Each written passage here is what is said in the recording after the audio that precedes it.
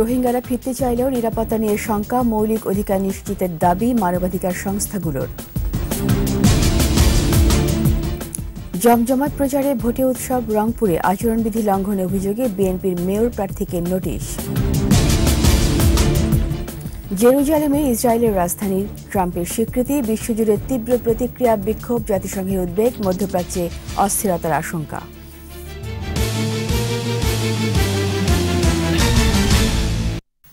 শুনছিলেন first security Islami bank limited সংবাদ শিরোনাম। আমন্ত্রণ জানাচ্ছি, সকাল নটার একুশে সংবাদের সাথে আছি রীতা চৌধুরী। এছাড়া সংবাদে আরও থাকছে, গোপালগঞ্জ ও সাতক্ষীরা মুক্ত দিবস আজ, নয় মাসের জীবনপণ যুদ্ধে জয়ে, স্বাধীন আকাশ লাল সবুজের পতাকা।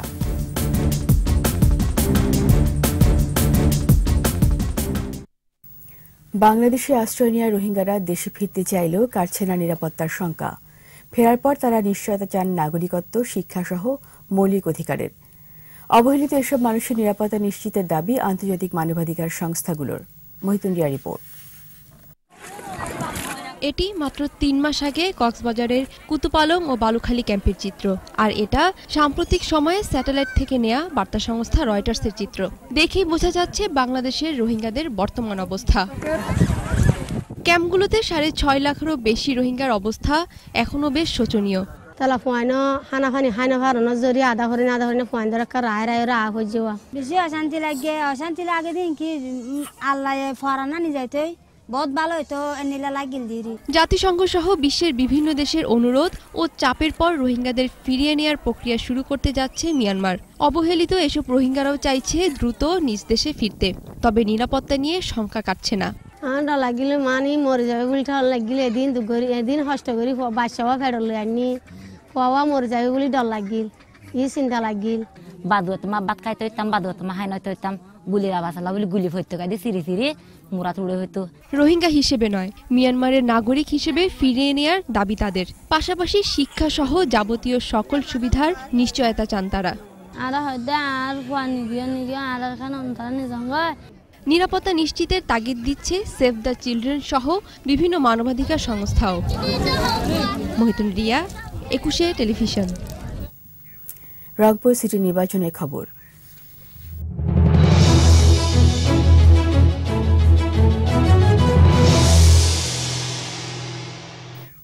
রংপুর সিটি নির্বাচনকে ঘিরে চলছে জমজমাট প্রচার প্রচারণা নগর জুড়ে ভোট উৎসবের আমেজ। ভোটারদের দাঁড়িয়ে দাঁড়িয়ে ক্লান্তিহীন প্রার্থীরা এরই মধ্যে অভিযোগ উঠেছে প্রচারে বাধা দেওয়ার আচরণবিধি লঙ্ঘনের দায়ে কারণ দর্শানোর নোটিশ দেওয়া হয়েছে বিএনপির মেয়র প্রার্থীকে। আলী হায়দার রনির ক্যামেরায় বিভাগীয় প্রতিনিধি লিয়াকত আলী বাদলের রিপোর্ট জানাচ্ছেন আফসানা নীলা। ভোটের দিন যত ঘনিয়ে আসছে, ততই বাড়ছে রংপুর সিটি কর্পোরেশন নির্বাচনের প্রার্থীদের গণসংযোগ। বাকি আছে মাত্র বারো দিন। তাই নগর জুড়ে এখন শুধু নির্বাচনী আলোচনা। দম ফেলার ফুরসত নেই প্রার্থীদের। গণসংযোগের পাশাপাশি নির্বাচনী এলাকায় চলছে পথসভা আর বৈঠক। এখনও পর্যন্ত প্রচারণায় এগিয়ে আছেন আওয়ামী লীগের প্রার্থী। আপনারা যে সবাই নৌকায় ভোট দেন আমি বঙ্গবন্ধু কন্যাকে এখান থেকে কথা দিতে পারি এবার নৌকার বিজয় নিয়েই আমরা সবাই মিলে তার সাথে দেখা করব। এদিকে আচরণবিধি লঙ্ঘনের অভিযোগে বিএনপি প্রার্থী কাউসার আহমেদ বাবলাকে কারণ দর্শানোর নোটিশ পাঠিয়েছেন রিটার্নিং অফিসার। তবে অভিযোগ অস্বীকার করে পাল্টা অভিযোগ করেছেন এই প্রার্থী। আমি কোনো আচরণবিধি লঙ্ঘন করে মিটিং করি নাই। আমাদের পঁচিশ তিরিশ জনের একটা মত বিনিময় হয়েছে আমাদের পার্টির দলগতভাবে। এর বেশি কিছু হয়নি ওখানে আর জাতীয় পার্টির মেয়র প্রার্থী নির্বাচন সুষ্ঠু হলে জয়ী হবার ব্যাপারে আশাবাদী।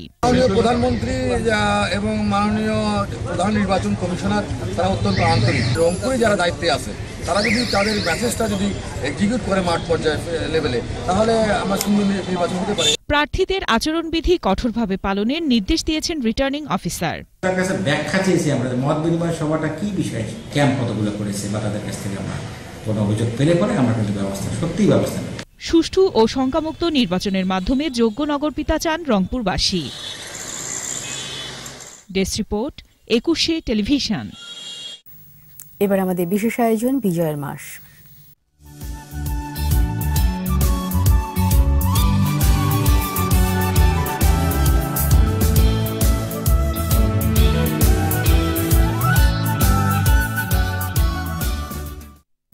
সাত ডিসেম্বর উনিশশো একাত্তর, মুক্তিযুদ্ধের ইতিহাসে আরেকটি গৌরবোজ্জ্বল দিন।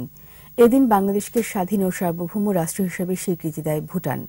চারটি ট্যাঙ্ক রেজিমেন্ট সমর্থিত আট ডিভিশনের সৈন্য নিয়ে আক্রমণ করেছে ভারত রাওয়ালপিন্ডি সেনা হেডকোয়ার্টারে। যুদ্ধ পরিস্থিতি নিয়ে জেনারেল নিয়াজির পাঠানো এমন গোপন বার্তা। ফাঁস হওয়ার আগেই যশোর ছেড়ে পালিয়ে যায় পাকিস্তানি সৈন্যরা। আরও জানাচ্ছেন আকবর হোসেন সুমন। উনিশশো একাত্তর সালের এই সময় রণাঙ্গনের সার্বিক পরিস্থিতিতে পাকিস্তানিরা ভীত সন্ত্রস্ত হয়ে পড়ে। এদিনে ভারতের নবম ডিভিশন রক্তাক্ত যুদ্ধের প্রস্তুতি নিয়ে যশোর সেনাঞ্চল ঘেরাও করে। পতন ঘটে জেনারেল নিয়াজির অন্যতম শক্তিশালী দুর্গ যশোরের। মিত্রবাহিনীর সঙ্গে যৌথ অপারেশনে মুক্ত হয় সিলেট। ঝিনাইদহ আর মৌলভীবাজার শত্রুমুক্ত করে দখল নেয় মুক্তিবাহিনী। সাতই মার্চ বঙ্গবন্ধুর তিনি বললেন, আমি যদি নির্দেশ দেওয়া নাও পারি, হুকুম দেওয়া নাও পারি, তোমাদের যার যা আছে শত্রুর বিরুদ্ধে তোমরা লড়াই করবা।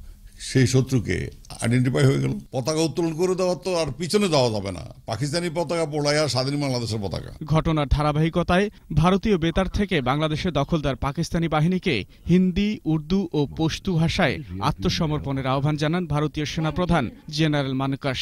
আকাশবাণী কলকাতার সংবাদ বুলেটিনে প্রচার হতে থাকে মুক্তিযুদ্ধের অগ্রগতির খবর। দেখি ওপার থেকে ভেসে আসছে অসংখ্য মানুষের রক্তের স্রোত। এদিকে পাকিস্তানিদের নির্মমতায় আন্তর্জাতিক মহলেও সমালোচনার ঝড় ওঠে। মানবতা বিরোধী নীতির প্রতি মার্কিন প্রশাসনের সমর্থন এবং জাতিসংঘের বিলম্বিত ও এক দেশকেন্দ্রিক ভূমিকা নিয়ে চলে বিতর্ক।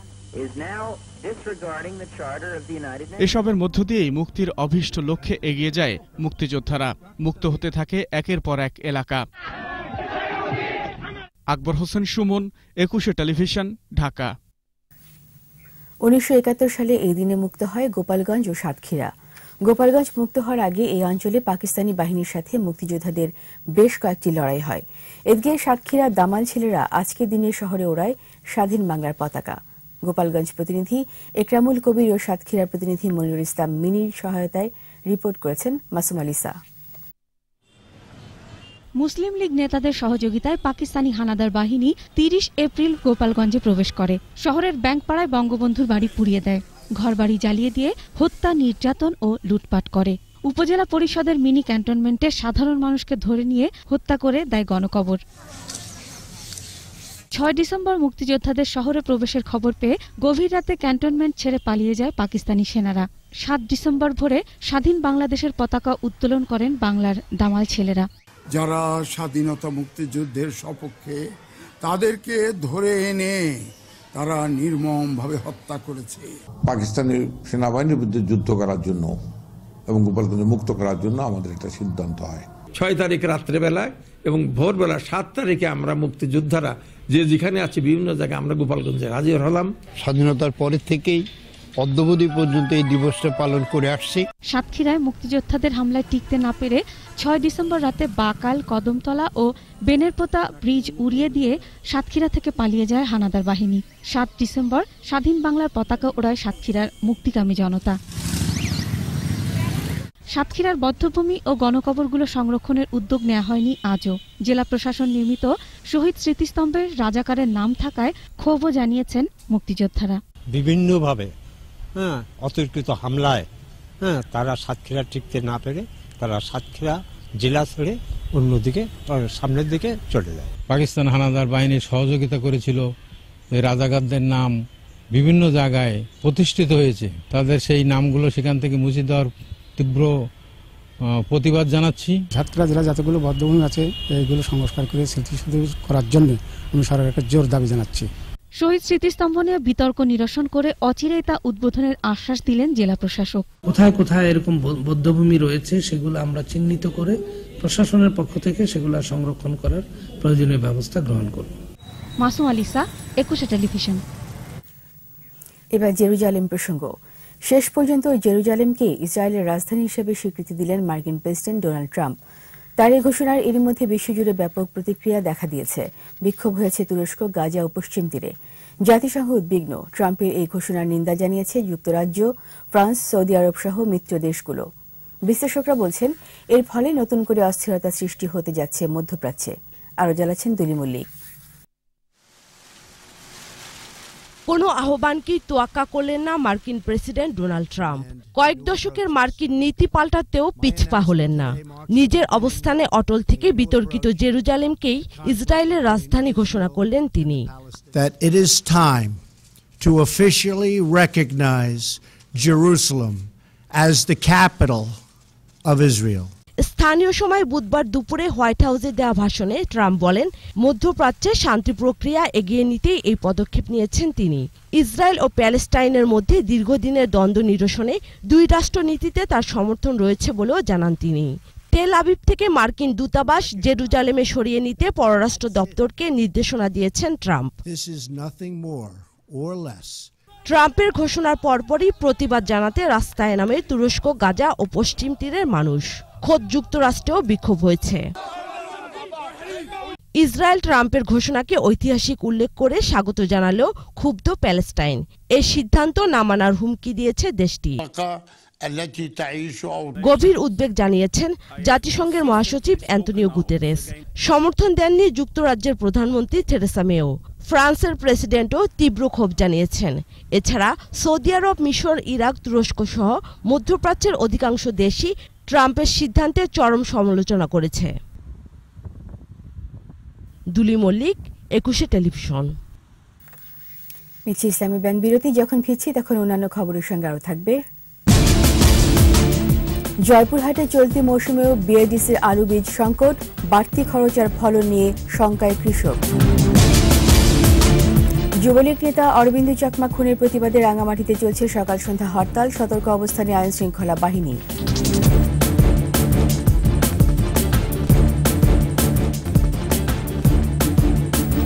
খবর আমন্ত্রণ সকাল নটার একুশে সংবাদে। সদ্য সমাপ্ত কম্বোডিয়া সফর নিয়ে বিকালে সংবাদ সম্মেলন করবেন প্রধানমন্ত্রী শেখ হাসিনা। বিকেল চারটায় গণভবনে এই সংবাদ সম্মেলন অনুষ্ঠিত হবে। তিন দিনের সরকারি সফর শেষে মঙ্গলবার দেশে ফিরেন শেখ হাসিনা। প্রধানমন্ত্রী কম্বোডিয়া সফরে বাণিজ্য, বিনিয়োগ, পর্যটন ও তথ্য প্রযুক্তি সহ বিভিন্ন ক্ষেত্রে নয়টি সমঝোতা স্মারক এবং একটি চুক্তির সই হয়। সফরের শেষ দিনে নমপেনে দেশটির সাবেক প্রধানমন্ত্রী ও রয়্যাল পার্টির প্রেসিডেন্ট নর্দম রানা ঋদ্ধের সাথে বৈঠক করেন শেখ হাসিনা। সে সময় এশিয়ার দেশগুলোর মধ্যে পারস্পরিক সহায়তা ও আন্তঃযোগাযোগ বৃদ্ধির উপর জোর দেন তিনি। পূর্ব ও পশ্চিমে দেশগুলোর মধ্যে সেতু হয়ে কাজ করতে বাংলাদেশে আগ্রহের কথাও জানান প্রধানমন্ত্রী। জয়পুরহাটে চলতি মৌসুমেও দেখা দিয়েছে বিএডিসির আলু বীজ সংকট। উত্তরাঞ্চলের বৃহৎ আলু উৎপাদনকারী এই জেলায় চাহিদা মতো সরকারি বীজ না মেলায় চাষিরা ছুটছেন বেসরকারি প্রতিষ্ঠানের দিকে। এতে খরচ বৃদ্ধি পাশাপাশি ফলনীয় শঙ্কিত তারা। জয়পুরহাট প্রতিনিধি এস এম শফিকুল ইসলামের রিপোর্ট জানাচ্ছেন রত্না জামান। বন্যার ক্ষতি পুষিয়ে নিতে কৃষকরা যখন প্রস্তুতি নিয়েছেন আলু রোপণে, তখন বাদ সাধছে ভালো মানের বীজের অভাব। বিএডিসির বীজ না পাওয়ায় অনেকেই ছুটছেন বেসরকারি প্রতিষ্ঠানের বীজের দিকে। জেলায় এবছর বিয়াল্লিশ হাজার হেক্টর জমিতে আলু আবাদের লক্ষ্যমাত্রা নির্ধারণ করা হয়েছে। তবে চাহিদার বিপরীতে খুবই কম বীজ পেয়েছেন ডিলাররা। কৃষকদের চাহিদা পূরণে চড়া দামে বেসরকারি প্রতিষ্ঠানের বীজ সংগ্রহ করছেন তারা। তবে চাষিদের যেমন খরচ বেশি হচ্ছে তেমনই শঙ্কা রয়েছে ফলন নিয়েও। উচ্চ মূল্যে আমরা বীজগুলা ক্রয় করে নিয়ে আসে লাগাই। কিন্তু দেখা যায় হয়তো দুই বিঘা ভালো হয়েছে দুই বিঘা মানে খারাপ হয়েছে। গতবারে লস খাসি এবারে লস খাব কি ভালো ফল পাবো তা মনে হচ্ছে না। ডিলাররা বলছেন সংকটকালীন সময়ে জয়পুরহাটের কৃষকদের বীজ সংগ্রহ করতে হয় বগুড়া থেকে। এতে অতিরিক্ত খরচের পাশাপাশি হয়রানিও হতে হয় তাদের। জয়পুরহাট জেলায় একশো চোদ্দ জন ডিলার প্রতি ডিলারে পাঁচ ডিল পাঁচ মেট্রিক টন করে আলু বীজের বরাদ্দ পায় যা খুবই নগণ্য। বাধ্যগত হয় বাইরের জন থেকে চড়া মূল্যে কিনে আইনে বিক্রি করতে বাধ্য হয় এবং এতে আমিও ক্ষতিগ্রস্ত হই এবং কৃষকও ক্ষতিগ্রস্ত হয়। বীজ সংকটের বিষয়ে বিএডিসির কর্মকর্তারা বললেন এটি জাতীয় সমস্যা। বরাদ্দটা তো আসলে আমাদের জাতীয় পর্যায়ে যেভাবে উৎপাদন হয় ওই কিন্তু সেটার উপর ভিত্তি করে দেয়। কিন্তু এরপরে বর্তমান সরকার আমাদের কৃষিমন্ত্রী বাড়ানোর চেষ্টা করতেছে। জয়পুরহাট জেলায় এ বছর আলু বীজের চাহিদা প্রায় ষাট হাজার মেট্রিক টন কিন্তু বিএডিসি থেকে বীজ মিলেছে মাত্র ছয়শো metric ton. Desk report Ekushey television. রাঙামাটির জুড়াছড়ি দেবাছড়ায় দুর্বৃত্তদের গুলিতে উপজেলা যুবলীগের সহ সভাপতি অরবিন্দ চাকমা নিহতের ঘটনায় সারা জেলায় সকাল সন্ধ্যা হরতাল চলছে। হরতালে সকাল থেকে জেলার সব দোকানপাট বন্ধ রয়েছে। চলাচল করছে না যানবাহনও। গুরুত্বপূর্ণ স্থানে মোতায়েন রয়েছে আইন শৃঙ্খলা বাহিনী। খণ্ড খণ্ড মিছিল বের করে হরতাল সমর্থকরা। মঙ্গলবার খুন হন অরবিন্দু চাকমা। ঘটনার প্রতিবাদে স্থানীয় যুবলীগ পুরো জেলায় হরতালের ডাক দেয়।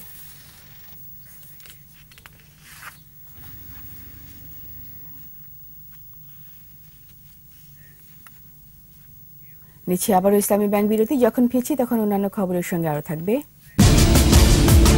যুক্তরাষ্ট্রের ক্যালিফোর্নিয়ায় আবারও দাবানল, ছড়িয়ে পড়েছে লস অ্যাঞ্জেলসের বেল এয়ার এলাকায়ও। রোনালদোর রেকর্ডাও রিয়ালের ঘাম ঝরানো জয়, অপরাজিত থেকেই চ্যাম্পিয়ন্স লিগের নকআউট পর্বে লিভারপুল।